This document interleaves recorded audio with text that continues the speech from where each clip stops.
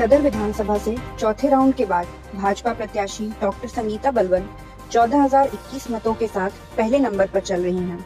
10,161 मतों के साथ समाजवादी पार्टी के प्रत्याशी दूसरे नंबर पर हैं। वहीं बसपा के प्रत्याशी 6,203 मतों के साथ तीसरे स्थान पर हैं।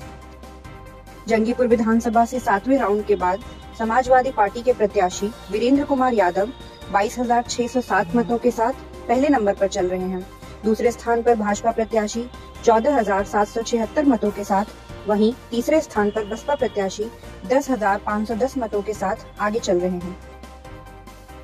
जमानिया विधानसभा के से सातवें राउंड की गिनती के बाद समाजवादी पार्टी से ओम प्रकाश सिंह पच्चीस हज़ार चार सौ सड़सठ मत पाकर सबसे आगे चल रहे हैं। वहीं भाजपा को तेरह हज़ार छह सौ सतहत्तर और सपा को नौ हज़ार पंचानवे मत मिले हैं। मोहम्मदाबाद विधानसभा में नौवे राउंड की गिनती के बाद सपा प्रत्याशी मनु अंसारी भारी मतों से आगे चल रहे हैं।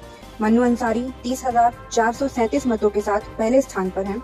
वहीं भाजपा की अलका राय को बीस हज़ार नौ सौ बहत्तर मत मिले हैं और वे दूसरे स्थान पर हैं, जबकि बसपा को दस हज़ार तीन सौ छब्बीस मत मिले हैं। जखनिया विधानसभा में आठवें राउंड की गिनती के बाद सुबह सपा प्रत्याशी छब्बीस हज़ार चार सौ चौबीस मतों के साथ पहले स्थान पर चल रहे हैं। वहीं भाजपा के प्रत्याशी सत्रह हज़ार पाँच सौ आठ मतों के साथ दूसरे स्थान पर हैं। तीसरे स्थान पर बसपा के प्रत्याशी ग्यारह हज़ार आठ सौ सतहत्तर मतों के साथ चल रहे हैं। चौराबाद विधानसभा में आठवें राउंड की गिनती के बाद सुभाषपा अध्यक्ष ओम प्रकाश राजभर अट्ठाईस हज़ार तीन सौ संतानवे मतों के साथ सबसे आगे चल रहे हैं। वहीं भाजपा के कालीचरण सत्रह हज़ार नौ सौ अड़तालीस मतों के साथ दूसरे स्थान पर हैं।